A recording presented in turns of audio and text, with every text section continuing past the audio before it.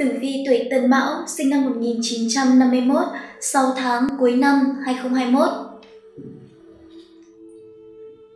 Xin chào quý vị, chào mừng quý vị đã quay trở lại với kênh Phong thủy Gia Cát, kênh thông tin hữu ích chuyên chia sẻ, truyền tải các kiến thức về tử vi, phong thủy và đời sống tâm linh. Đặc biệt được hướng dẫn và tư vấn bởi thầy Gia Cát, một trong những bậc thầy về phong thủy nổi tiếng tại Việt Nam.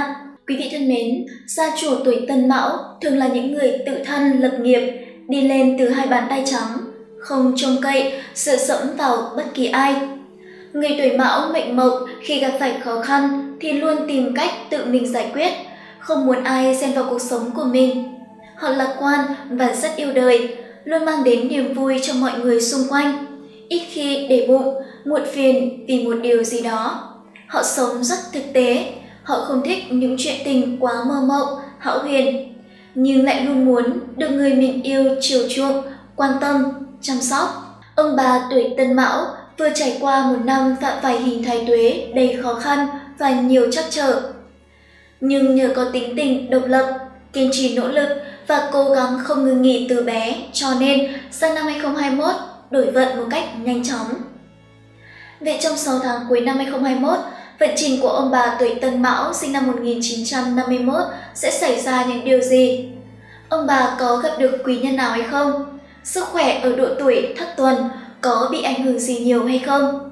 Xin mời quý vị và các bạn hãy cùng theo dõi chương trình ngày hôm nay để có thể nắm rõ được vận trình công danh, sự nghiệp, tài lộc, tình duyên và sức khỏe của ông bà tuổi Tân Mão Đặc biệt, phần tử vi ngày hôm nay được luận giải bởi thầy Gia Cát và các chuyên gia hàng đầu với nhiều năm kinh nghiệm về tử vi và phong thủy.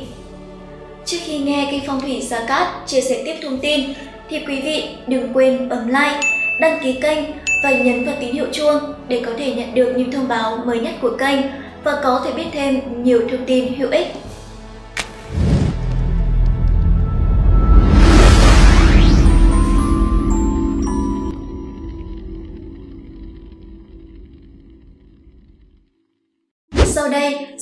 Phần tổng quan tử vi của ông bà tuổi Tân Mão sinh năm 1951 trong 6 tháng cuối năm Tân Sửu. Theo tử vi của ông bà tuổi Tân Mão trong nửa cuối năm 2021 cho thấy ông bà do không phải chịu tác động của trực tiếp thái tuế nên về cơ bản đây là một khoảng thời gian dài bình ổn và an yên. Tuy nhiên, đường tài vận của ông bà trong thời điểm này không vượng, vì thế tốt nhất là ông bà không nên ham làm giàu, nếu không sẽ dễ mắc bẫy của kẻ lừa đảo. Đồng thời, ông bà hãy thỏa mãn với những gì mình đang có và dần gạt bớt những thứ yếu trong cuộc sống. May mắn trong thời gian này, gia đạo đa phần bình ổn, không gặp phải quá nhiều biến động. Đặc biệt, để mọi việc được viên mãn, gặp nhiều may mắn và hóa giải các xung sát do thái tuế, thì thầy Gia Cát khuyên ông bà tuổi Tân Mão nên mang theo bên mình pháp khí hộ thân, kim bài, thái tuế. Vật phẩm sẽ nghênh đón quý thần, hóa giải vận hạn, hung tinh trong năm 2021. Quý vị thân mến, trong phần tiếp theo của chương trình, kênh Phong thủy Gia Cát xin chia sẻ chi tiết vận trình của ông bà tuổi Tân Mão trong 6 tháng cuối năm 2021 qua từng phương diện cụ thể của cuộc sống. Thứ nhất, về sự nghiệp, quan vận, Tử vi của ông bà tuổi Tân Mão sau tháng cuối năm 2021 cho thấy vì đã bước vào độ tuổi thất tuần. Chính vì vậy, ông bà không nên có tinh thần ganh đua quá mức trong mọi việc. Hãy thỏa mãn và hài lòng với những gì mà mình đang có. Không nên yêu cầu quá mức ở bản thân những không nên yêu cầu quá mức ở bản thân mình cũng như con cái, mọi người xung quanh. Ngoài ra ông bà nên tránh xa những lời dụ dỗ của người ngoài trong việc bỏ tiền đầu tư, ông bà sẽ rất dễ bị lừa gạt. Trước khi đưa ra quyết định lớn nhỏ nào, tốt hơn cả đó là ông bà nên trao đổi với con cái trong nhà, không nên tự mình đưa ra các quyết định, khiến mình lâm vào rắc rối. Để mọi việc được phát triển một cách hanh thông và thuận lợi, thì những gia chủ tuổi Tân Mão hãy mang bên mình pháp khí phong thủy, vòng gỗ huyết long tam hợp quý nhân hợi, mão, mùi. Bộ ba linh vật khắc trên mặt đá mã não đỏ sẽ có tác dụng bổ trợ thân mệnh, kích tài, nạp phú, tăng cường hòa hợp, thiên, địa, nhân hợp nhất cho ông bà trong thời gian sắp tới. Đồng thời, đá mã não đỏ còn mang lại sức khỏe, sự hưng thịnh và trường thọ cho ông bà. Thứ hai, về mặt tài lộc và tiền bạc. Tài lộc của ông bà tuổi Tân Mão trong nửa cuối năm 2021 khá ổn định chứ không vượng. Vì vậy, ông bà cần chú ý tránh xa những mối đầu tư mạo hiểm, đem lại lợi nhuận cao, nhưng kèm theo đó là rủi ro lớn. Ông bà nên dành thời gian cho bản thân và gia đình nhiều hơn, tránh ham làm giàu và nghe theo những lời ngon ngọt của người ngoài mà đem hết tiền tiết kiệm của mình đi đầu tư vào những nơi không đáng tin tưởng. Ngoài ra trong thời điểm này, ông bà tuổi Tân Mão hãy mang theo bên mình pháp khí phong thủy, minh quang pháp bảo. Từ đó sẽ giúp cho công việc hành thông, thuận lợi, thu hút tài lộc, may mắn và bình an. Đặc biệt vật phẩm được hội tụ bởi những tinh hoa của Đức Phật cùng những tinh túy linh thiêng của đất trời, chứa đựng nguồn năng lượng tích cực, xua đuổi tà ma, tăng cường cát khí cho ông bà trong thời gian sắp tới. Thứ ba, về mặt tình cảm và gia đạo. Xem tử vi nửa cuối năm 2021 cho thấy ông bà tuổi Tân Mão không gặp nhiều biến động trong chuyện tình cảm và gia đạo. Ông bà nhận được sự quan tâm, yêu mến của con cháu trong nhà. Mối quan hệ với hàng xóm xung quanh cũng tốt đẹp, thường xuyên nhận được sự giúp đỡ của mọi người. Về cơ bản, ông bà có thể tận hưởng những năm tháng yên bình. Tốt nhất, ông bà hãy giữ tâm lý lạc quan, tích cực, luôn hướng về những điều tốt đẹp trong cuộc sống. Dù gặp phải vấn đề gì bất ngờ, ông bà cũng chớ nên lo lắng quá mức, sẽ gây ảnh hưởng đến sức khỏe. Trong thời gian này, thầy Gia Cát cũng khuyên ông bà tuổi Tân Mão hãy đeo vòng tam hợp quý nhân, hợi, mão, mùi. Năng lượng của tam hợp khí sẽ giúp ông bà đạt thông năng lượng ngưng tụ, thiên, địa, nhân. Từ đó tăng cường vận khí, đem lại may mắn, sức khỏe, hóa giải và tăng cường các mối quan hệ cho ông bà đặc biệt là giúp gia đạo êm ấm. Thứ tư, về mặt sức khỏe. Tình hình sức khỏe của ông bà sinh năm 1951 trong nửa cuối năm 2021 không có vấn đề gì quá đáng lo ngại. Tuy nhiên, ông bà cần cẩn thận khi sử dụng các vật dụng bằng kim loại, tránh cho bản thân bị thương. Một số người bị đau xương khớp, gân cốt thì không nên vận động mạnh. Chú ý tìm những hoạt động phù hợp đối với sức của mình. Đặc biệt, để hóa giải những hung tinh và vận xấu, thì thầy phong thủy khuyên ông bà tuổi Tân Mão hãy mang theo bên mình pháp khí nhà Phật, bát bảo, tâm kinh. Vòng sẽ giúp ông bà xua đuổi hung tinh, vận hạn trong thời gian này. Vòng cũng giống như một tấm bùa hộ mệnh mang lại sức khỏe, bình an và bảo vệ ông bà dù ở bất cứ đâu, ở bất cứ hoàn cảnh nào. Quý vị thân mến, trên đây là vận trình cụ thể của ông bà tuổi Tân Mão trong 6 tháng cuối năm Tân Sửu sau đây, xin mời mọi người hãy cùng tìm hiểu hung cát từng tháng của ông bà qua phần tiếp theo của chương trình. Thứ nhất, tử vi tháng 7 âm lịch. Tháng 7 âm lịch, ông bà tuổi Tân Mão không gặp phải vấn đề gì lớn trong công việc cũng như trong cuộc sống. Chất lượng công việc dần dần được cải thiện, ông bà đã giải quyết các nhiệm vụ quen tay nên không còn nhiều khó khăn, khúc mắc như trước. Chuyện kiếm tiền cũng khá thuận lợi, bởi ông bà quen được thêm nhiều đối tác, bạn hàng mới. Tuy nhiên, vấn đề sức khỏe của ông bà tuổi Tân Mão trong tháng này lại không được lý tưởng. Có thể ông bà đang quá tập trung vào sự nghiệp nên cố tình làm lơ những dấu hiệu cảnh báo của cơ thể. Thứ hai, tử vi tháng 8 âm lịch.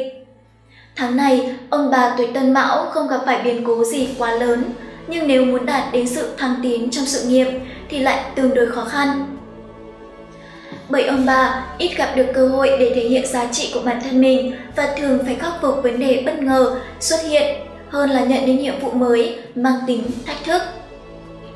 Ông bà có thể dành khoảng thời gian này để tạm thời thả lỏng bản thân, tiếp tục lập kế hoạch cho tương lai của mình. Ông bà không cần thiết phải vội vàng chạy theo bước chân của người khác. Thứ ba, tử vi tháng 9 âm lịch. Sức khỏe của ông bà tuổi Tân Mão có những chuyển biến tích cực trong tháng 9 âm lịch ông bà sẽ luôn cảm thấy khỏe khoắn và tràn trề tinh thần phấn đấu mỗi khi bắt tay vào công việc. Ngoài ra, việc ham thích giao lưu, vận động cũng giúp ông bà kết giao được với nhiều bạn bè, nhiều đối tác mới triển vọng trong lĩnh vực làm ăn, kinh doanh. Cộng thêm các tinh phù trợ, công việc của ông bà có thêm những bước tiến triển đều đặn, chỉ cần cố gắng phân đấu là ắt gặt hái được thành tích đáng ngưỡng mộ vào cuối tháng, tử vi tháng 10 âm lịch. Sự nghiệp của ông bà tuổi Tân Mão không có nhiều bước phát triển nổi bật trong tháng này. Chủ yếu là vì ông bà thường xuyên lơ là, thiếu tập trung nên dễ mắc những lỗi đáng tiếc. Chuyện kiếm tiền cũng không thực sự thuận lợi trong tháng này. Ông bà cần cẩn thận mỗi khi tiếp xúc với những đối tượng, khách hàng, đối tác làm ăn. Nếu không, sẽ mắc bẫy, phải dùng tiền mới giải quyết được vấn đề. Thứ năm, tử vi tháng 11 âm lịch. Vận trình của ông bà tới Tân Mão trong tháng 11 âm lịch cũng không được lý tưởng cho lắm, nhất là về tài lộc. Ông bà không kiếm được các khoản thu Ông bà không kiếm được các khoản thu phụ, trong khi đó thì các khoản chi phí lại không ngừng gia tăng. Cho nên, ông bà cần chú ý chi tiêu có kế hoạch hơn, chớ tiêu tiền cho những sở thích nhất thời. Thứ sáu, tử vi tháng 12 âm lịch. Tháng chạp, vận thế của ông bà tuổi Tân Mão có dấu hiệu đi lên mà dễ thấy nhất là trên phương diện tài lộc. Cả năm qua, ông bà đã làm việc vất vả và đây chính là lúc ông bà được tận hưởng thành quả của mình. Thời gian này, một số ông bà trong lĩnh vực làm ăn, kinh doanh cũng có cơ hội mở rộng sản xuất hoặc buôn bán, kiếm lãi gấp bội vào thời điểm cuối năm. Quý vị thân mến, trong phần cuối của chương trình ngày hôm nay, xin mời mọi người hãy cùng kênh Phong thủy Gia Cát tìm hiểu vận hạn của ông bà tuổi Tân Mão trong vận trình nửa cuối năm 2021 theo sao hạn và là số tử vi để hiểu rõ hơn. Thứ nhất là sao hạn ông bà tuổi Tân Mão. Đối với ông tuổi Tân Mão trong thời điểm 6 tháng cuối năm 2021 sẽ bị sao thái âm chiếu mệnh. Thái âm là các tinh mang tới sự hài hòa, vui vẻ, may mắn, hạnh phúc về tiền tài, làm cho được toại nguyện những ước mơ. Tuy nhiên, ông bà lại gặp phải hạn sim phương, bởi hạn này chủ yếu gây bất lợi về sức khỏe thể chất cũng như tinh thần. Ông cần hết sức lưu ý vấn đề đi lại, tham gia giao thông, đề phòng tai nạn bất ngờ. Bên cạnh đó, trong thời gian này còn có thể có tim buồn tang chế từ họ hàng xa đưa tới. Còn đối với bà thì trong khoảng thời gian này gặp phải sao thái bạch. Đây là sao xấu, gây hao tán tiền bạc. Dân gian có câu, thái bạch, quét sạch cửa nhà. Công việc kinh doanh của bà sẽ có tiểu nhân quấy phá, mất tiền, mất của, có thể trắng tay, đề phòng quan sự. Không như vậy, bà còn gặp phải hạn thiên la. Hạn này chủ về đau ốm không khỏi, hao tốn tiền bạc. Bệnh đều do ma quỷ quấy phá mà ảnh hưởng tới sức khỏe, công việc. Cho nên bà tuổi Tân Mão cần đặc biệt chú ý trong thời gian này. Thứ hai, nội dung căn niên vận 6 tháng cuối năm 2021 theo là số tử vi. Cùng mệnh của ông bà Sao Lưu Hà và Tăng Môn gây bất lợi cho sức khỏe, gia đình có tăng chế, đề phòng nạn sông nước. Cung tam hợp có các sao thiên mã, đại hao, tuế phá, điều khách, báo hiệu một thời gian dài dịch chuyển nhiều, vất vả, có dấu hiệu hao tài, gia đình có chuyện không vui. Cuối cùng là cung xung chiếu gồm có các tinh lộc tồn, hàm trì, giải thần, phượng cát, tốt cho nhân duyên và tài lộc. Nhưng hung tinh phi liêm, bạch hổ và thiên quan gây hại sức khỏe, đề phòng tai nạn bất ngờ phải đậu chạm đến rau kéo hoặc họa thị phi, quan tụng. Vừa rồi quý vị và các bạn đã nghe bài phân tích về tử vi 6 tháng cuối năm 2021 của ông bà tuổi Tân Mão, sinh năm 1951. Phần tử vi này đều được thầy Gia Cát và các chuyên gia hàng đầu với nhiều năm kinh nghiệm về tử vi, phong thủy luận giải.